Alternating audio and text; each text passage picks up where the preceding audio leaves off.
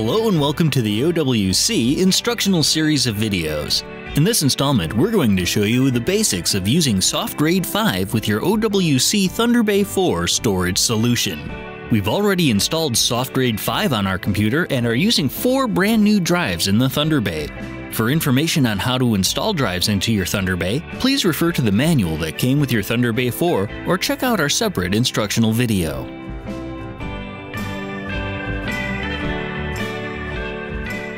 Once you have the drives installed in your ThunderBay, you can hook it up to your computer and turn it on. If these are brand new drives, you may get a bunch of warnings that a drive can't be read. That's okay. Just click Ignore, then open up SoftRAID. On the left is a list of all the drives attached to your computer.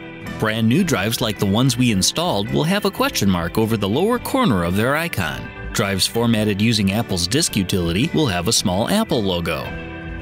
Right-click on each drive's tab and select Blink Disk Light to flash the indicator corresponding to each drive in the ThunderBay. This is especially useful if you have multiple Thunderbolt devices and you don't want to get them mixed up.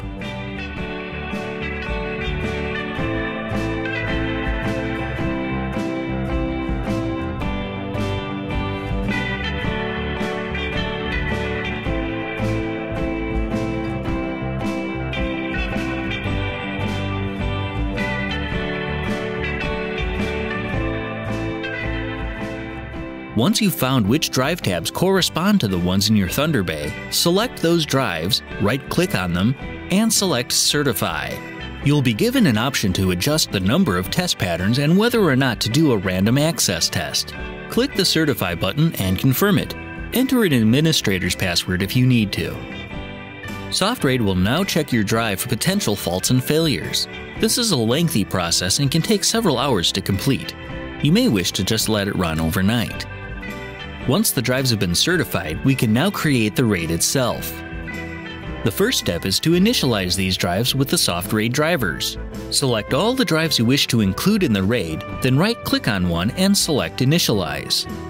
Confirm that you'd like to initialize the drives and the process will continue.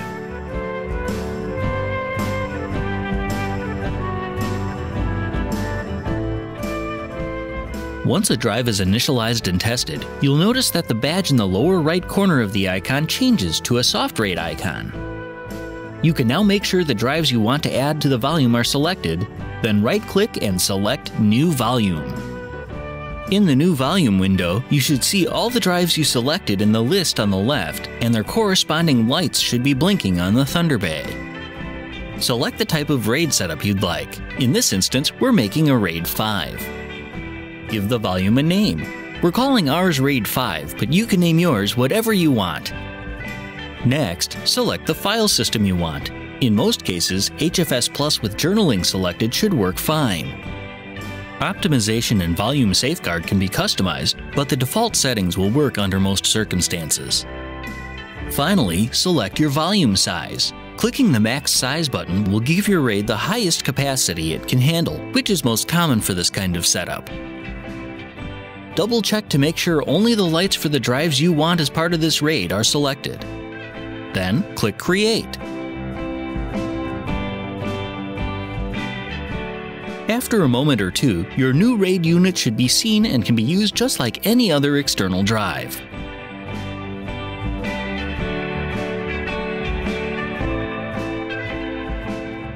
If you're using your SoftRAID device on a computer that you're not always at, such as with a server or a remote workstation, you may want to set up email notifications. These notifications will let you know if a drive in your array goes bad, is likely to go bad, is almost full, or any of a number other things. To set this up, first go to the SoftRAID menu and select Email Notification. In the window that opens, click Enable in the upper right corner. We can now put in the name and email address that we want any SoftRAID warnings to come from. For the name, we're going to make the name Soft Raid Alert so it'll stand out in our email list. We've also set up a Gmail account that we'll use just for these alerts.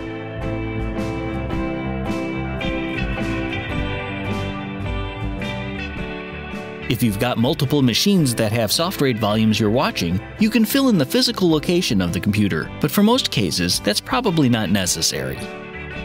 Next, click on the Outgoing Server tab. Here, you'll want to fill in your username, password, and server information for the email address you entered on the previous page.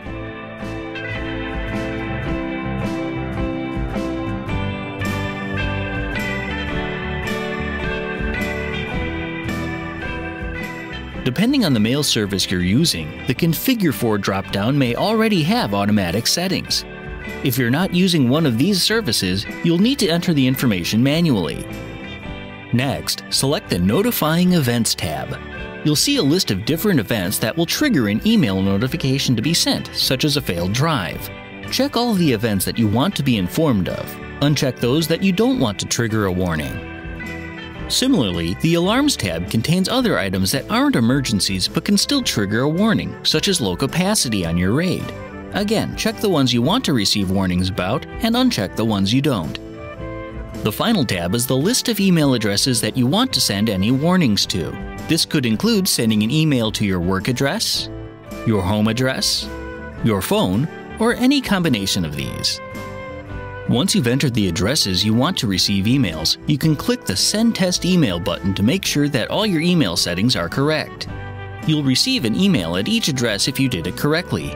If not, go back and check all your server settings. Once everything is working, you can click Save, and anytime SoftRAID detects a problem with one of your RAID volumes, you'll get an email at the address or addresses you've specified.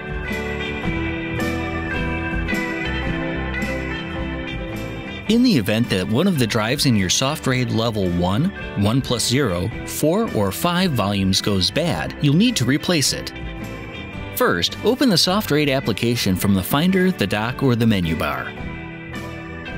When SoftRAID opens, you'll notice at least one drive will have a warning badge as well as text indicating what kinds of errors the drive is having.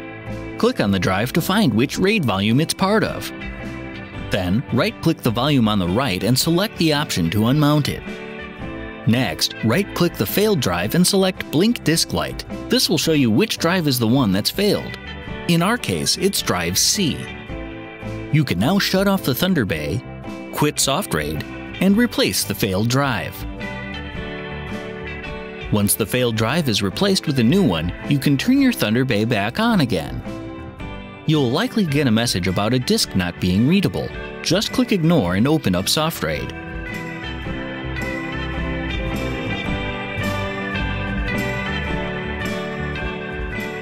You'll see that now your RAID volume is missing a disk. That's fine, that's the disk we removed. You'll also notice that there's a drive with a question mark badge.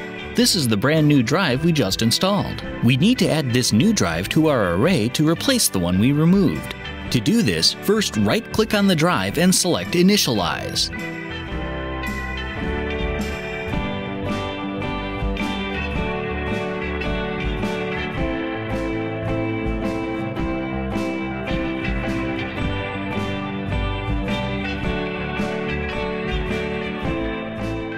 Once the drive has been initialized, you can right-click on your RAID volume and select Add Disk you'll be presented with a list of SoftRAID formatted drives that aren't part of a RAID already. Since the only one that fits those criteria is the one that we just installed and formatted, that's the one we choose. Just select it, click Add, then Confirm. Now the new drive is added to the RAID volume and the whole unit will start to rebuild itself. Depending on how full the RAID was when the drive failed, this could take several hours. Once the volume is rebuilt, you can continue using it like you did before.